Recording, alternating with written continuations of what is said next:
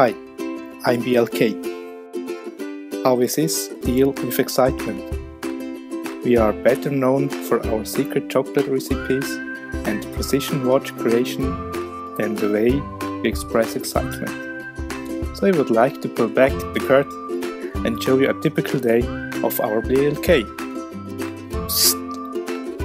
It's early in the morning, after a busy week at CES 2017 in Las Vegas. Don't ask.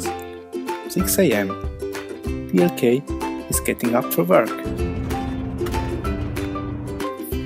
He has plenty of meetings and drinks coffee with his friends in the morning, his lunch.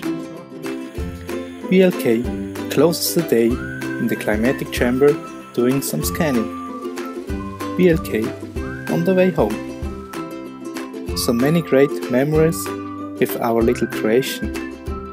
It seems like yesterday, but BLK first opened its eyes and started thinking.